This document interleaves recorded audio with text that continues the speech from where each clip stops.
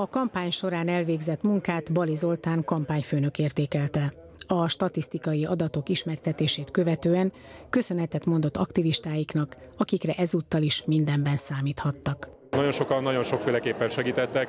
Gondolunk itt arra, hogy közel 14 ezer támogatóira is sikerült összegyűjteni. Nagyon sokan segítettek a plakátolásban, a levelek kihordásában, vagy éppen ajándéktárgyaknak a kihordásában. Nagyon sokan segítettek a szórólapoknak az elkészítésében és gyártásában. Egy szó mint száz, ez a kampány sok apró, tevé, apró kis részletből tevődött össze. Éppen ezért fontos, hogy a mai napon mindenkinek, aki valamilyen módon segített, megköszönjük a munkájukat. Víg László, a térség országgyűlési képviselője rámutatott, ekkora mozgósításra nem volt még példa az Alegerszegen.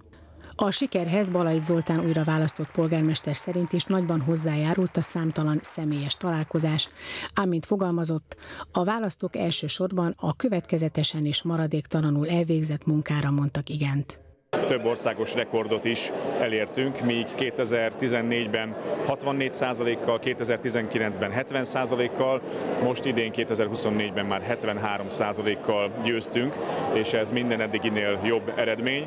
Ehhez sok összetevő kellett, kellett egy elmúlt öt éves ciklusban elvégzett folyamatos városfejlesztő munka, kellett a szervezet folyamatos építése, és kellett az a sok-sok személyes találkozás az emberekkel, a segítőkkel, a támogatókkal, akiknek köszönhetően elérhettük ezt az eredményt.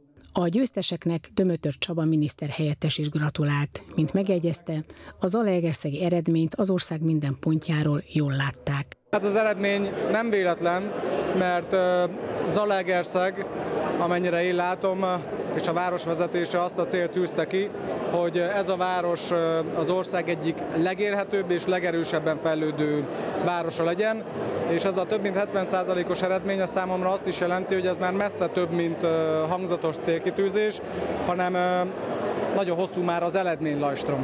A politikusok hozzátették, a munka nem áll meg, már is megkezdték a felkészülést a következő választási kampányra.